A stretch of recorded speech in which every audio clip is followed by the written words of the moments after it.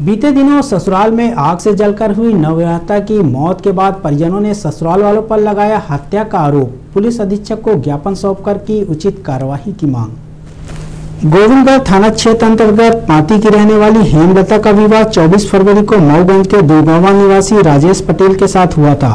परिजनों का आरोप है कि जब उनकी बेटी दूसरी विदाई में घर आई तो उसने बताया कि उसके ससुराल वाले दो लाख रुपए दहेज की मांग कर रहे हैं और उसके लिए उसे प्रताड़ित कर रहे हैं। उसके बाद जब उनकी पुत्री 18 अप्रैल को वापस ससुराल गई, उसके बाद उन्हें 19 अप्रैल को ससुराल वालों द्वारा यह सूचना दी गई कि उनकी बेटी की जलने से मौत हो गई। और जब वो बेटी के ससुराल पहुँचे तो देखा उसके शरीर में कई जगह चोट के निशान हैं। उनका आरोप है कि उनकी बेटी को दहेज के लालच में मारकर जला दिया गया है।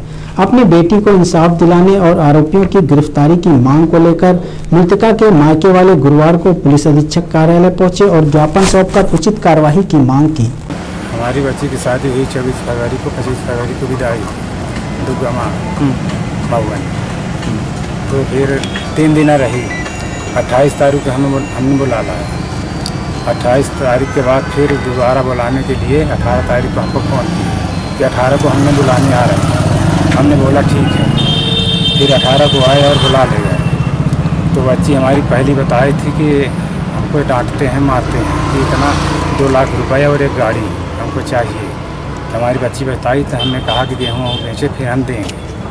तो फिर अठारह को विदाई किया तीन बजे शाम। चली गई और उन्नीस तारीख को हमको फ़ोन किए कि तुम्हारी बच्ची घर में आग लग जाने से जल गई। तो हमने वहाँ गया। तो वहाँ देखा उसको तो ताला बंद ठहरा दिया। फिर सुबह नौ बजे देखा।